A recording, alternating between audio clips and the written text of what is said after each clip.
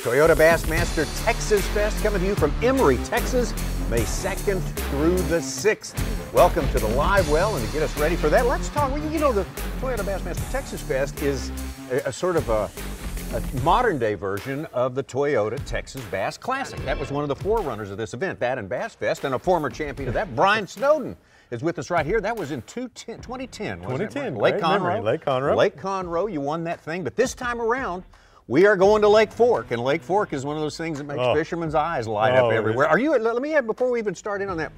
When you hear that we're going to some place where they smash them, like Fork or Guntersville or, or St. Lawrence River, do you go, "Oh man, everybody will catch them," or do you go, "I'm going to catch them big time"? I still love to catch them, so it's, All it's right. exciting. You know, it's always exciting, and, and uh, when you get to catch seven, eight, even 10, 12 pound fish, I mean, Oh my gosh! Yeah, the- I mean, I, I guess the last time they were there for this tournament, the, the forerunner, the TTBC, I think they smashed the hundred pound mark in a big way. right? and uh, you're going to see that again. oh, it'll happen again. Okay. I, I almost guarantee you that. Why does it happen there at Lake Fork in May?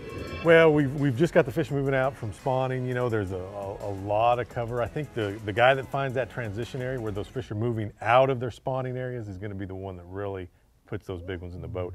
And, uh, you know, Keith's going to be there. Oh, and, and uh, there's no Enough one better. about that, There's no one better at that type of structure Sure. fishing with the crankbait, and he knows how to catch them in Texas. Uh, I just hope you know that that's one of those places you can find an area like that for myself, because that's really what I want to do: get off the bank and do some structure fishing. Yeah. Is there, is there any use when you go to a place like Fork and you're fishing against guys like Keith Combs and trying to say, you know, the only way I could possibly win this thing is to do something completely different, or is it just a better bet to do what's really working and hope hope you wind up with the biggest of the big ones? Well, you know, there, there's definitely going to be some shallow fish. You know, there there'll be guys that catch them on, you know, lily pads, grass. There'll be guys that catch really good stringers of fish shallow. You won't have to fish the structure. I just think that time of year, the guy that finds that medium range structure spot, you're going to have a better chance of winning than the shallow guy. Well, that's what we'll be looking for. This is a big time tournament. I mean, this is sort of the, as we say, it's it's the modern day version of Bass Fest, sort of the mid season thing.